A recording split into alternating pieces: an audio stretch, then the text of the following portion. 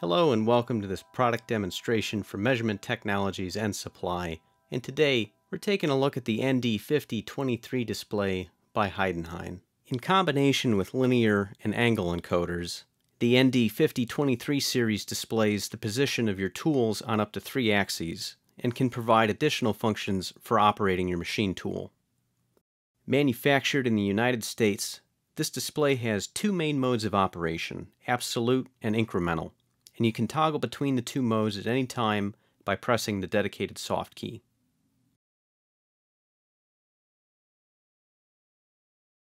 There's a stopwatch which you can see here on the side. It will start and stop by pressing the decimal key and you can zero it out by pressing 0 on the number pad.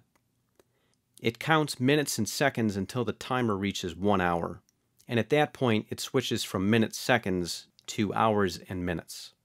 Datum has its own soft key, so counting 0, you can set up to 10 datums.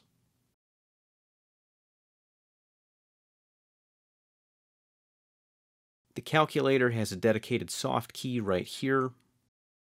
It has all the standard trig functions as well as square, square root,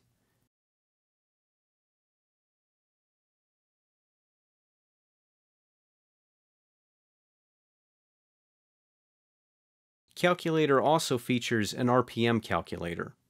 This can be handy, but it basically serves as an example. You'll want to consult with your machine documentation to make sure the values you're entering properly correspond to the spindle speed range of your tool. One thing that's very helpful about this display is it has the option to turn on a zoom feature. Once that's enabled, you can see here when an axis moves, it'll show up larger on the display. So if for whatever reason you're standing away from the display when it's operating, this can be helpful seeing if the measurements are traveling as intended. Another perk of this display's user interface is a near zero warning. With this enabled, as well as the numbers, you can have a graphical representation of where the zero point is.